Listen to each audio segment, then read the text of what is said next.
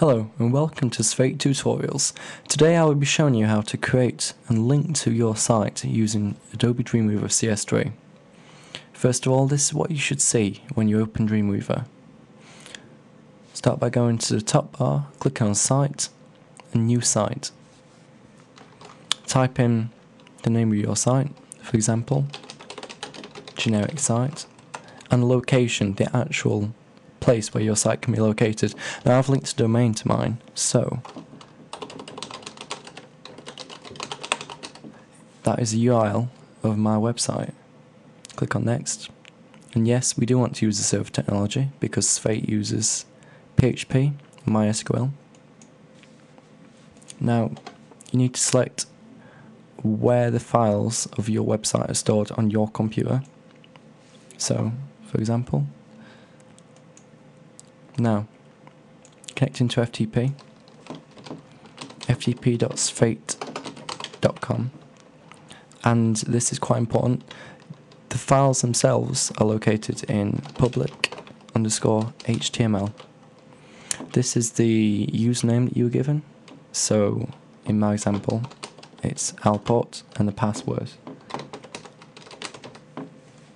You might notice the little save comes up. This just stops you having to re-enter your password at every opportunity. Now click on test connection to try it out. Should try and connect to you.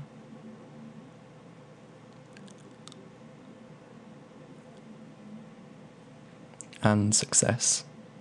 Press next. Enter in your website address once more. Yours is probably different from mine. Yours probably looks something like that.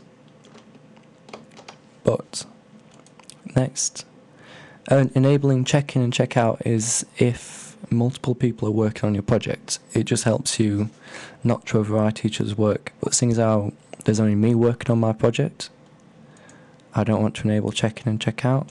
Next, gives you all the information, and you are done. Generic site is there when you click on connect,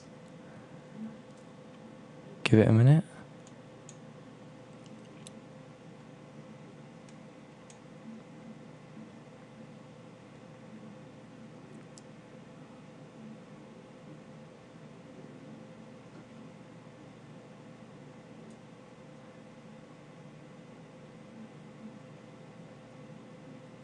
and it's retrieving the information from the server.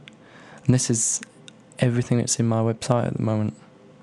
So there you are, how to connect using Dreamweaver to FTP.